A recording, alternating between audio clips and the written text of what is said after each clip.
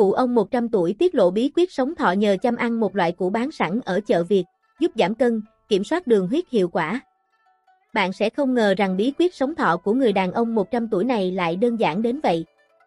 Mới đây, cụ ông Albertine đã có bữa tiệc sinh nhật đón tuổi 100 tại Viện Dưỡng Lão Trinvi Home Care Home, Care UK, Anh.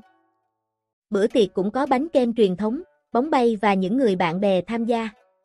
Để kỷ niệm cho bữa tiệc hiếm có này, bếp trưởng của viện dưỡng lão đã làm một ngon đặc biệt dành tặng riêng cho ông cụ. Nó là sự kết hợp từ củ dền, phô mai dê kết hợp quả ốc chó kẹo và cây xô thơm giòn. Từ nhỏ, tôi đã rất thích ăn củ dền và thường xuyên sử dụng nó. Mẹ tôi thường nấu siêu thực phẩm này với đủ món. Song đây là lần đầu tôi được thưởng thức món tơ riêng củ dền ngon đến vậy, cụ ông 100 tuổi nói. Chia sẻ về số tuổi của mình, ông cho biết chưa khi nào nghĩ bản thân sống được đến năm 100 tuổi. Khi nghỉ hưu ở tuổi 50, ông nghĩ mình chỉ có thể sống đến năm 70 tuổi. Song thực tế mọi thứ lại vượt xa tưởng tượng. Trên Israel, ông Albert cho biết bí quyết để kéo dài tuổi thọ, đó là thường xuyên sử dụng củ dền.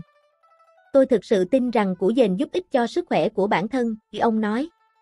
Thực tế, đây là loại thực phẩm giàu dinh dưỡng.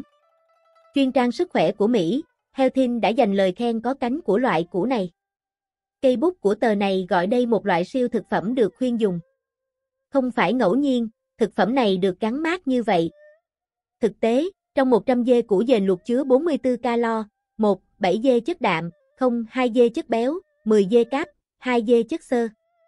Ngoài ra, loại củ này còn chứa folate, mangan, đồng, kẽm, magie, sắt, vitamin C và vitamin B6. Dồi dào về dưỡng chất, củ dền đem đến nhiều lợi ích cho sức khỏe người sử dụng. Giảm nguy cơ mắc ung thư. Củ dền có màu sắc đẹp nhờ betalin, chất chống oxy hóa hòa tan trong nước. Nó cũng chứa các hợp chất flavonoid, có đặc tính chống oxy hóa và chống viêm. Betalin và các chất chống oxy hóa khác của củ dền có thể giúp tìm và tiêu diệt các gốc tự do, các phân tử không ổn định trong cơ thể. Khi tồn tại với số lượng lớn, những gốc tự do và các phân tử không ổn định này có thể thúc đẩy tình trạng viêm và tăng nguy cơ ung thư. Bảo vệ trái tim Tình trạng viêm nhiễm có thể dẫn đến sự tích tụ mảng bám trong động mạch, các cơn đau tim.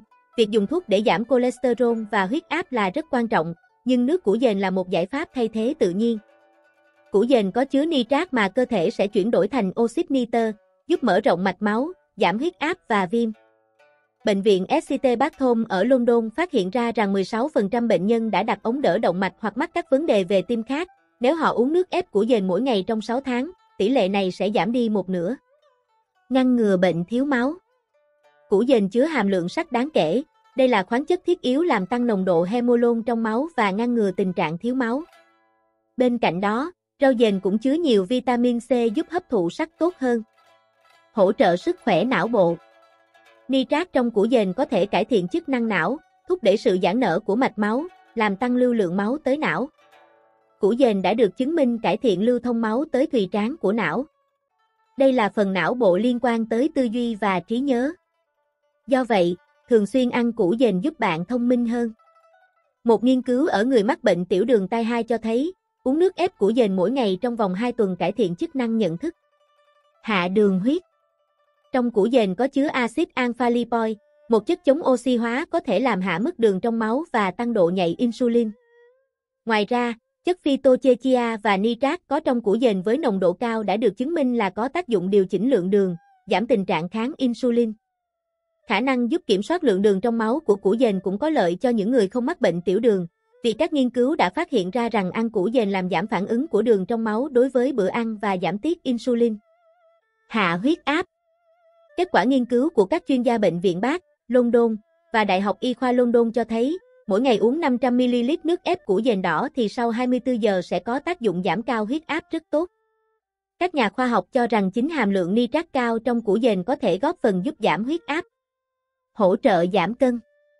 Nhờ thành phần dinh dưỡng đa dạng nhưng chứa ít calo, củ dền thực sự là siêu thực phẩm dành cho người muốn giảm cân. Củ dền ít chất béo, calo thấp nhưng lại chứa nhiều nước.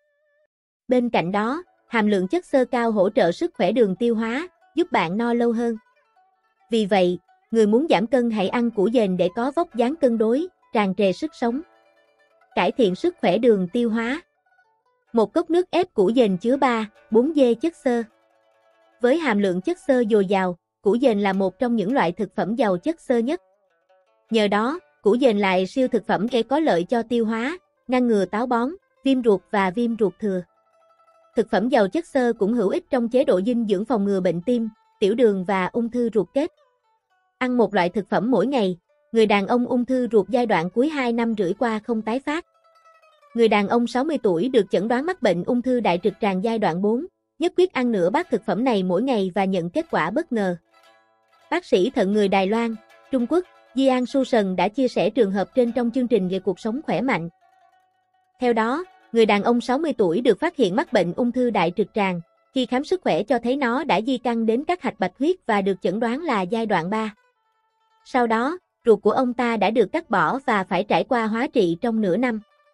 Thật không may, các tế bào ung thư sau đó tiếp tục tiến tới gan và ngay lập tức chuyển sang giai đoạn 4. Bác sĩ cho rằng, trên thực tế, ung thư đại trực tràng đã di căn đến gan vẫn có thể đốt bằng điện nên không phải là hết hy vọng.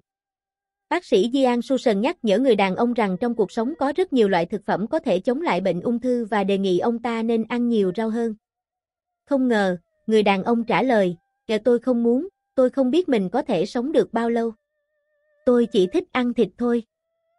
Thấy thái độ kiên quyết của bệnh nhân, bác sĩ đề nghị nếu không muốn ăn rau thì nên ăn nhiều loại nấm, vì theo khảo sát của Nhật Bản, người trồng nấm là nhóm người ít có khả năng nhất mắc bệnh ung thư trong số tất cả các loại nghề nghiệp.